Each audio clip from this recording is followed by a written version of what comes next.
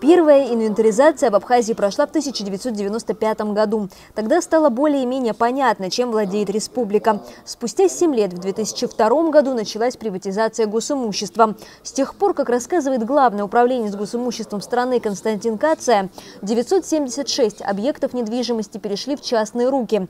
Госбюджет на этом заработал 793 миллиона рублей. Это в основном магазины, ателье и там э, разрушенные и так далее. То есть говорить о том, что была проведена приватизация в Абхазии, не приходится. Первый этап, да. Торговля, общественное питание, с ним справились.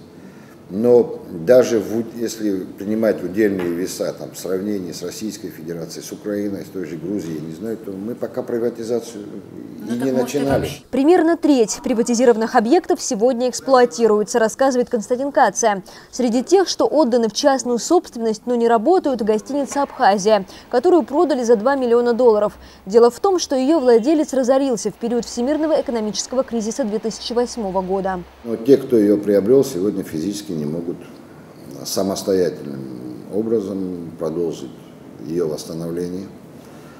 И кредитных средств или иных средств пока привлечь не могут. Ну, и мы не можем. Можно только через суд. Ну, это сложная будет процедура, и я не уверен за результат. Очень много э, объективных факторов влияют иной раз на те или иные действия или бездействия инвестора.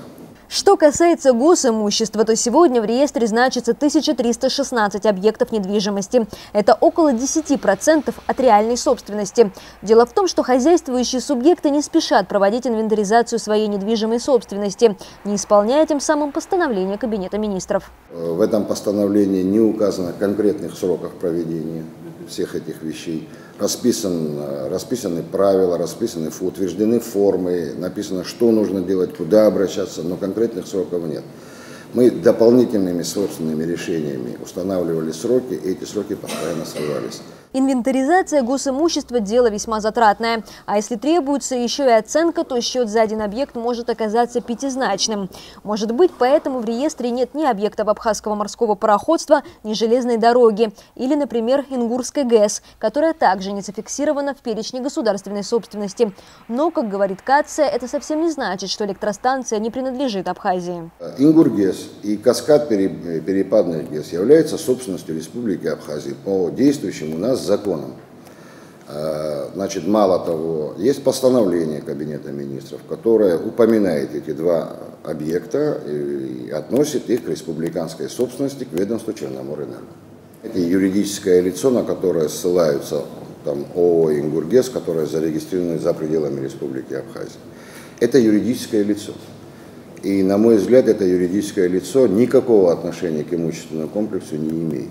Вопрос с санаториями ПВО и МВО Константин Каци разъяснил более четко. Два этих объекта принадлежат Абхазии, но сейчас идет процесс их безвозмездной передачи во временное пользование Министерству обороны России. Ну, там не определен договора, пока нет передачи, пока нет, но должны передаваться в пользование и с э, утверждением особого порядка их функционирования но этого осуществлено пока не было. Но... И все же Константин Кация призывает руководителей различных организаций и предприятий ежегодно проводить инвентаризацию своего имущества, чтобы в будущем иметь информацию по всем объектам. Такого рода сведения необходимы, например, в случае инвестирования или приватизации.